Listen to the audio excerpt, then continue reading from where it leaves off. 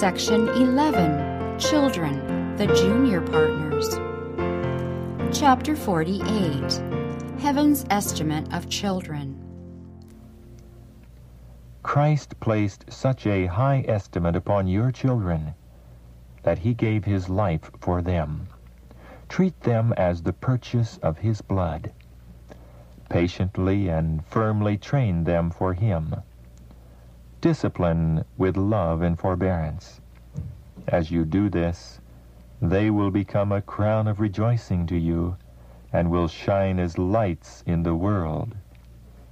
The youngest child that loves and fears God is greater in his sight than the most talented and learned man who neglects the great salvation.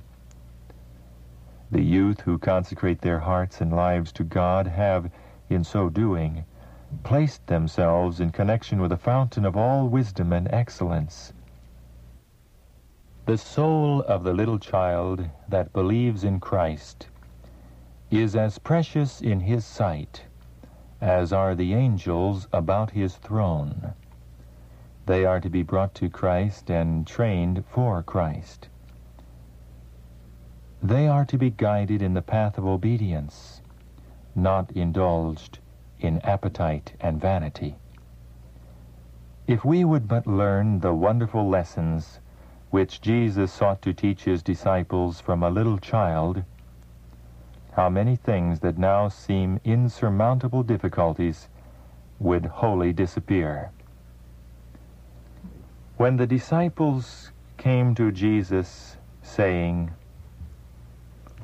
Who is the greatest in the kingdom of heaven? Jesus called a little child unto him and set him in the midst of them and said, Verily I say unto you, except ye be converted and become as little children, ye shall not enter into the kingdom of heaven. Whosoever therefore shall humble himself as this little child, the same is greatest in the kingdom of heaven. Children derive life and being from their parents, and yet it is through the creative power of God that your children have life, for God is the life giver. Let it be remembered that children are not to be treated as though they were our own personal property. Children are the heritage of the Lord, and the plan of redemption includes their salvation as well as ours. They have been entrusted to parents in order that they might be brought up in the nurture and admonition of the Lord, that they might be qualified to do their work in time and eternity. Mothers, deal gently with your little ones. Christ was once a little child. For his sake, honor the children. Look upon them as a sacred charge not to be indulged, petted, and idolized, but to be taught to live pure, noble lives. They are God's property. He loves them and calls upon you to cooperate with Him in helping them to form perfect characters.